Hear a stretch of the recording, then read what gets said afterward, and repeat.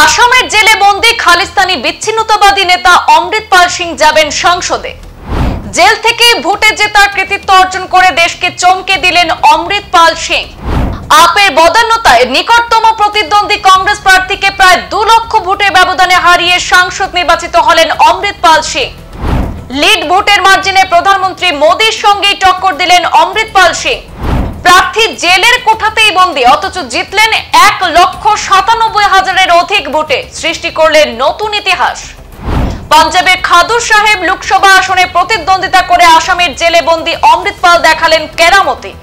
খালিস্তানি জঙ্গি নেতা হিসেবে জেলে বন্দী অমৃত পাল সিং লোকসভা নির্বাচনে এই উগ্র খালিস্তানপন্থী নেতাও জয়ী হয়েছেন।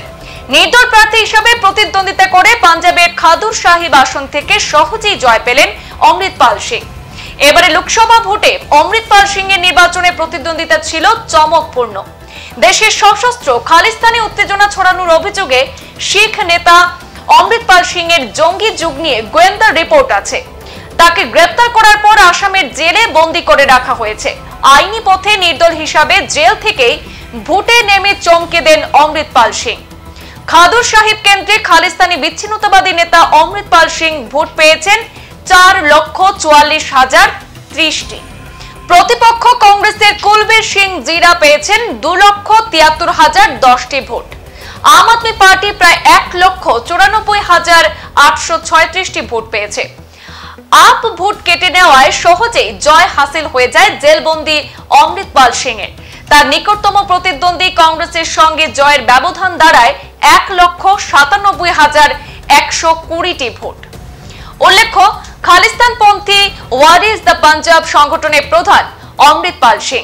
বিগত দিনে পাঞ্জাবে তার উস্কানিতে পুলিশের উপর ব্যাপক হামলা হয়েছিল। এরপর পলাতক ছিল অমৃত পাল সিং। জাতীয় নিরাপত্তা আইনের অর্থাৎ এনএস এর অধীনে তাকে গ্রেপ্তার করা হয়। তবে অমৃত পালকে পাঞ্জাবে বন্দি করে রেখে ঝুঁকি নেয়নি সরকার। বর্তমানে আসামের ডিব্রুগড় জেলে বন্দি রয়েছেন এই বিচ্ছিন্নতাবাদী খালিস্তানি শিখ নেতা। জানা গেছে খাদুর সাহেব আসনে অমৃত পালের জয় নিশ্চিত করতে সমর্থন করেছিল পাঞ্জাবের আঞ্চলিক রাজনৈতিক দল শিরোমণি আকালি দল। সংবাদ এই পর্যন্তই। পরবর্তী অন্যান্য আপডেট পেতে সাথে থাকুন। ধন্যবাদ।